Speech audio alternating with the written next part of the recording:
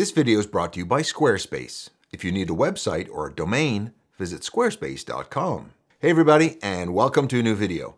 Do you have a problem with photos where your subject isn't in focus, your focus is on the background rather than your subject, or not all of the scene is in focus like you hoped? In this video, I'm going to share my very best techniques so you can nail that focus every time. And don't forget to stay till the end where I'll share a tip that will make your camera focus faster than ever, even on quick moving subjects. My name is Simon D'Entremont, and I make weekly videos giving you photo tips or taking you behind the scenes for wildlife and nature photography. Subscribe if you want to see more.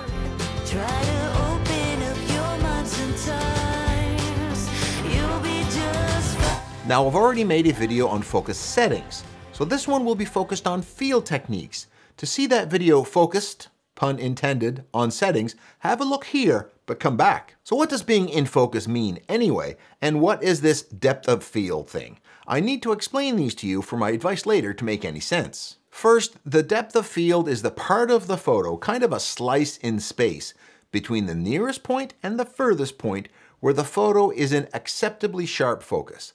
I say acceptably sharp as focus doesn't go from poor to perfect all at once. So the area in focus is the place where light rays converge to a point, and a small area in front of this and behind this that are of acceptable focus will look acceptably sharp to us in a photo. The thinner the depth of field, the blurrier the background looks. The deeper the depth of field, the more in focus the background and foreground will be.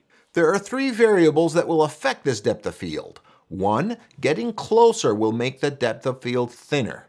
Consequently, being farther makes the depth of field deeper. Two, longer focal lengths will make the depth of field thinner.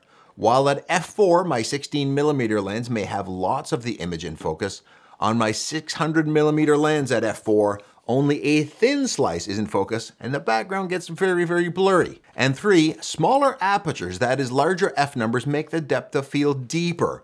So shooting at f11 has much more of the image in focus than f2.8, which has a thinner depth of field. Let's tackle focus issues by genre, as that's how most people will come across them in real life. One of the keys to understanding how to use the depth of field to your advantage in landscapes and architecture or any genre where you want large expanses in focus is to know if your depth of field is deep enough to include the whole image. And to know that, we need to understand something called the hyperfocal distance. This is the distance at which everything beyond this distance can be brought into an acceptable focus. At the hyperfocal distance, the focus area will start at half the distance to the focus point and extend all the way to infinity. So focused here, everything from here, half the distance, to infinity, here, will be in focus. You can use apps to calculate hyperfocal distance for you. I use an app called PhotoPills to plan my astrophotography, and it even includes hyperfocal tables. So let's say I'm using the 16mm lens wide open at f2.8, and I want to photograph a flower at 1 meter or 3 feet away, but also get the mountains in the distance, basically at infinity, in focus. According to these tables, the hyperfocal distance for this combination of camera, focal length, and aperture is 3 meters, or about 10 feet, and the closest part of the photo in focus would be half of that, 1.5 meters or 5 feet. The flower is too close to be in focus, but as we saw earlier, smaller apertures can make the depth of field deeper. If we reduce the aperture size by making the f number f4.5, the new hyperfocal distance is just under 2 meters, and the closest point in focus is half of that, less than 1 meter. So now our flower is in focus, as well as the mountain, by making our aperture a smaller f4.5 from the original f2.8. The lesson here is that the smaller the aperture, the closer the hyperfocal distance, and the better odds that everything will be in focus. Also, the fact that this is a very wide lens makes the hyperfocal distance closer too. The f2.8 hyperfocal distance on this 50mm lens is 30 meters, not 3 meters like the 16mm lens. The corollary here is if you want everything in focus, use shorter focal lengths, as longer focal lengths have shallower depths of field. For this shot, these rock structures in the foreground are only a meter away. How did I get them all in focus? Did I use hyperfocal tables? No.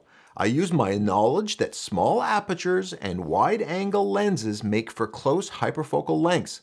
So I shot this at 24 millimeters and f14, which I knew would make things very close all the way to infinity in focus. In this case, looking up the table after the fact tells me that everything two thirds of a meter or two feet to infinity are in focus.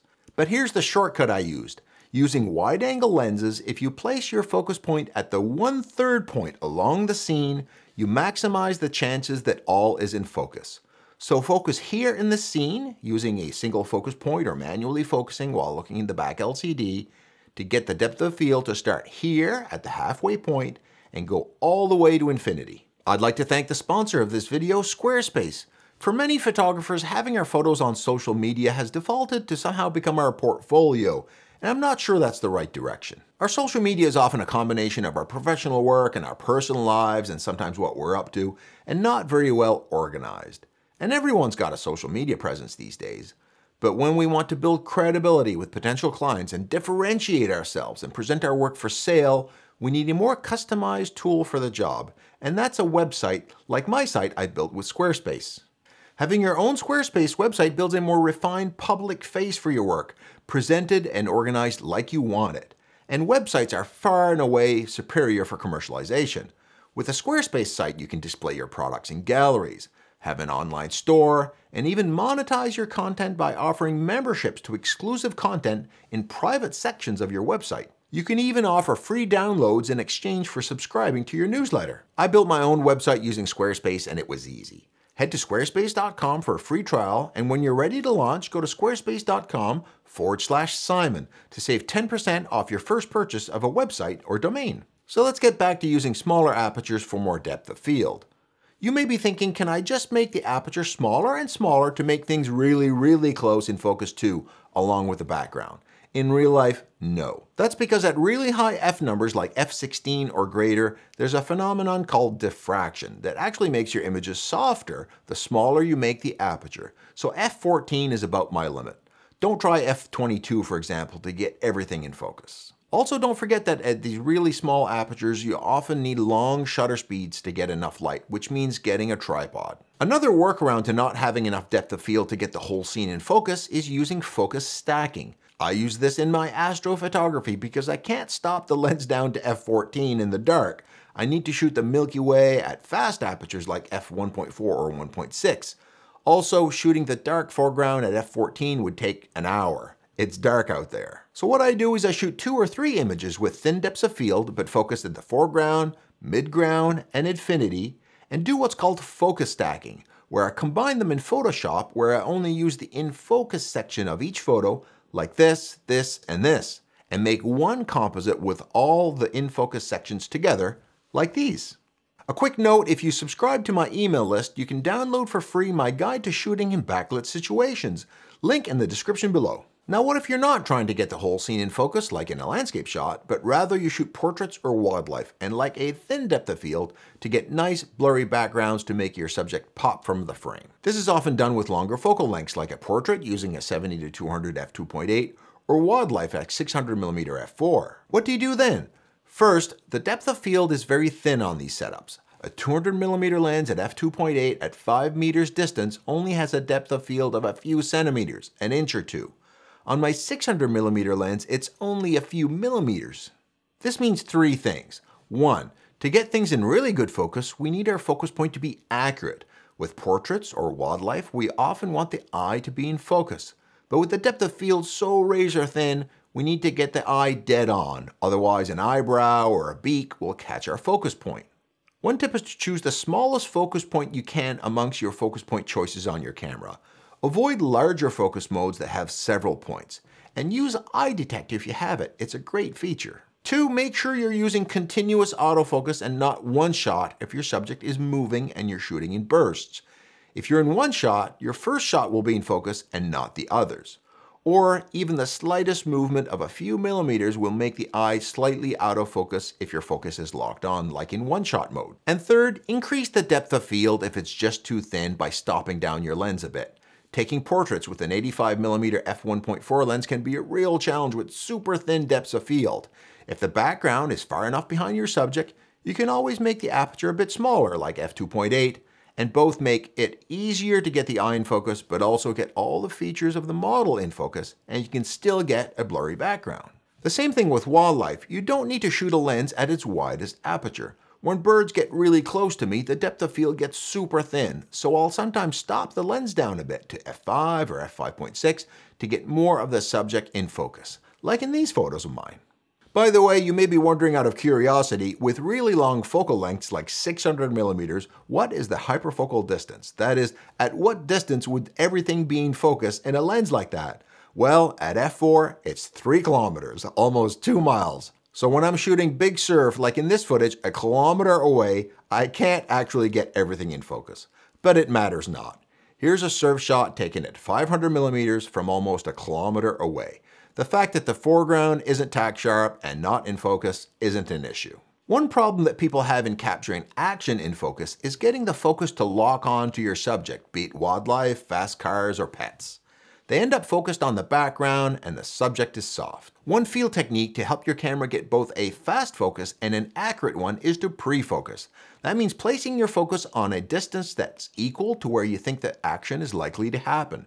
The more in focus and visible it is, the easier it is for your camera to find it and start focusing on it. The physical distance that the lens needs to move the lens elements to get in focus is less and will take less time to happen for a faster focus. In short, the closer your focus is to the plane where the subject will appear, the faster and more accurately everything about focus will happen. So how do you implement this in the field? The trick is that when you expect some action, Point at something close to that distance, a tree, a fence, a clump of grass, and hit the focus button. Then after you've focused, take your finger off the button and leave the camera focused at that distance. Wait for your subject to arrive, and when they do, point at it and hit the focus button. It should acquire it much more quickly. Another tip is that many cameras, especially mirrorless cameras, are better at pushing the focus out than pulling it in. So given the choice between pre-focusing right in front of you or at infinity, pre-focus close to you, avoiding the phenomenon of the camera focus being stuck on the background, which can be hard to recover from. If you found this video deserving, please give it a like and YouTube will share it with other photographers struggling with focus issues, helping them to get that shot in focus. And I hope that you can use these tips too the very next time you go out to come home with your own unique and in focus photos. I know you can do it.